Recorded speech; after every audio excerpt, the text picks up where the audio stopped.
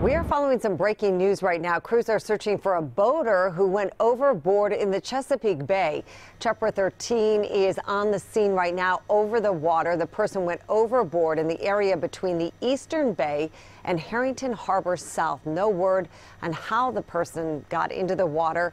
You can see that there is a boat on scene doing a full search. WJZ will keep you updated on it.